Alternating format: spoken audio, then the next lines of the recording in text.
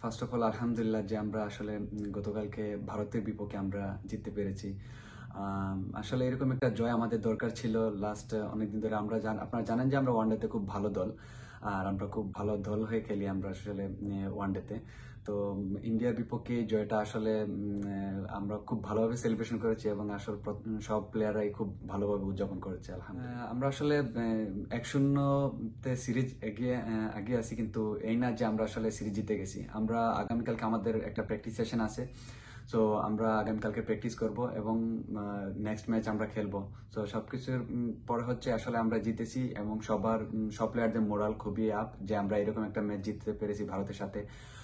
আমরা নেক্সট ম্যাচটাও আমরা আমাদের সবাই মিলে আমরা ভালো খেলার চেষ্টা করব, ইনশাআল্লাহ বাকিটা আল্লাহর ইচ্ছা। দেখেন, তাস্কিনের ইঞ্জুরিটা ওইটা সম্পূর্ণ টিম ম্যানেজমেন্ট এবং মেডিকেল ডিপার্টমেন্ট ভালো বলতে পারবে।